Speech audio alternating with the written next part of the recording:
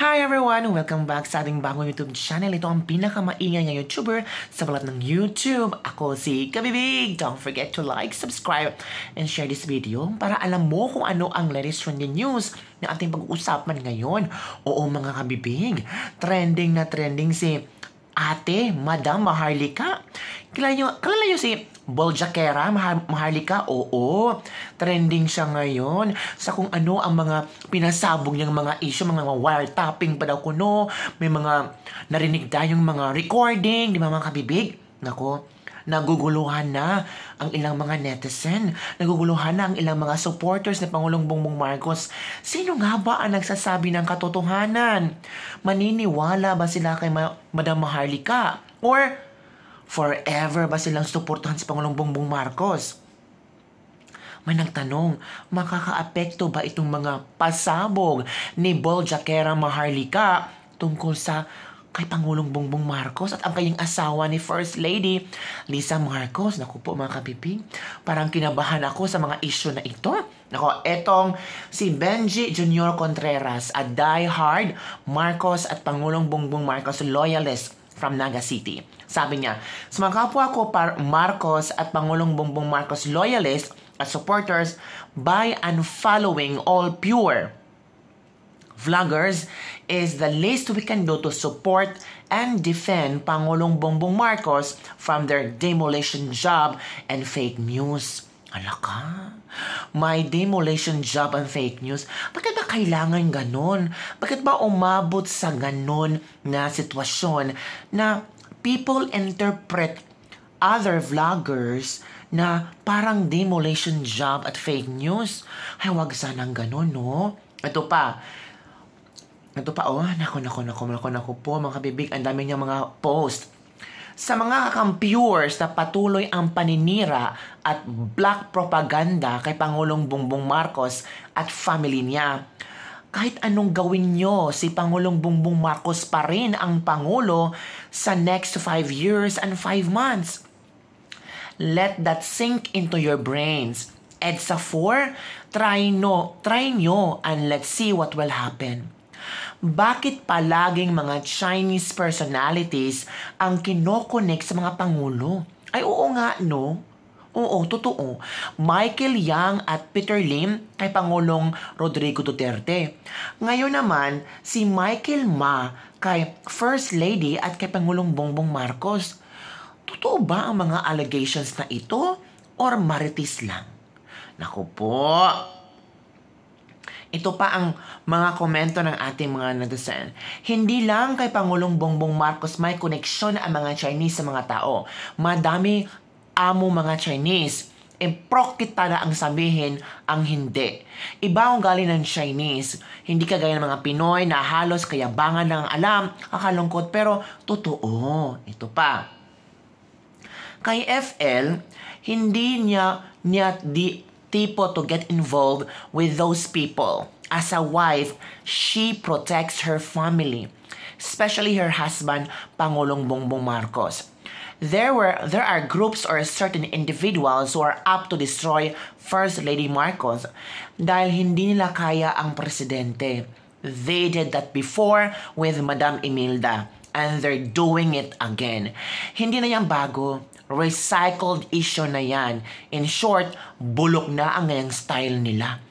O nga, naramdaman ko, medyo wala na masyadong uh, bashing kay Pangulong Bongbong Marcos. Ngayon naka-sentro kay First Lady Imelda Marcos. Si First Lady ba ang nagpatakbo sa Pilipinas? Oy, hindi naman no. Si Pangulong Bongbong Marcos naman. Ay nako, ito pa the supposed wiretapped phone conversation of FL or First Lady Marcos posted by a vlogger should be investigated by the authorities because it shows no one is safe. Even national security is compromised. May naglilik ba nito na taga-palasyo? Oo. Isa ding malaking question yan Sino ba ang nag-provide kay Ma Boljakera Maharlika? In fairness ha, napaka-brave ni Boljakera Maharlika. Talagang nilabas niya. Oo, nilabas niya ang mga ebidensya na hawak niya. Ay, nako. Ang gulo. No? Assuming but not saying it's true na nakikialam si First Lady sa mga appointments. Mabuti na yon dahil legal na asawa siya at lawyer.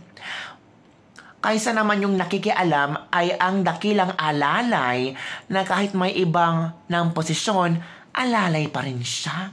Naku, sino ba minarinig ni Benji Junior Contreras? 100% agree. Hindi ba nakakainis yun? Yung alalay, hindi nga alam e defend ang kanyang panukalang batas, maraming taga-bulong, tapos 24-7 yatang nasa tabi ng tatay niya. Ay, sino yun? Naku po. Bakit nyong sinasabing nating Marcos or Pangulong Bongbong Marcos vloggers ay bitter na bitter ngayon at patuloy ang paninira kay Pangulong Bongbong Marcos at pamilya? Hindi na-appoint sa, sa mga target na posisyon? May mga pabor na hinihiling pero di na pagbigyan ni Pangulong Bongbong Marcos? O peke lang?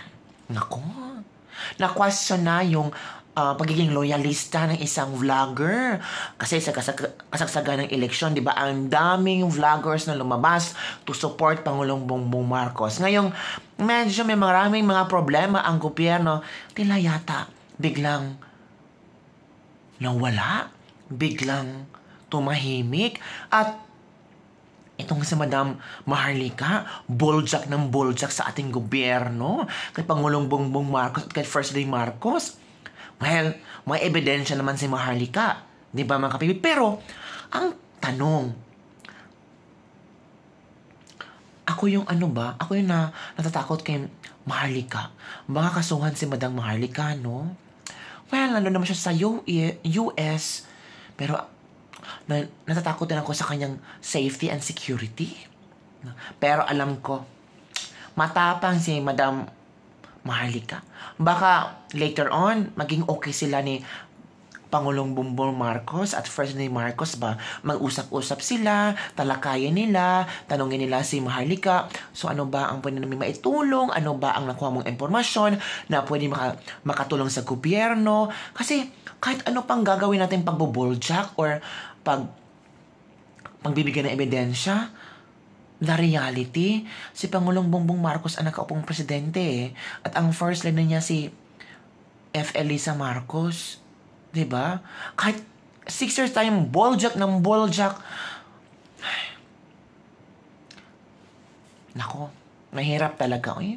Pag ganito ang sitwasyon ng ating bansa, ganito ang nangyari ngayon, mga issues, ay nako, si Pebbles Talekera, ito ang kanyang komento. Ay salute palanggang maharlika, lumalaban para sa bayan. Lagi niyan sinasabi sa akin na, Mother, matapang ka, palaban ka, believe ako sa'yo. No, hindi. Mas believe ako sa'yo. Mas believe si Be- Pebbles kay Maharlika. And andito lang ako lagi to support you, walang iwanan. Iba ka. Mas powerful ka kay Darna boljakera, talakera para sa katotohanan. I'm sick and tired na talaga.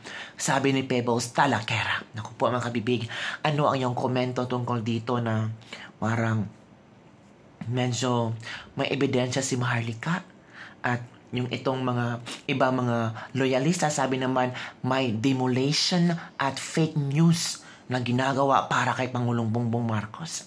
Comment down below kung ano yung opinion kuro-kuro sa issue na ito. Bye everyone! See you next time!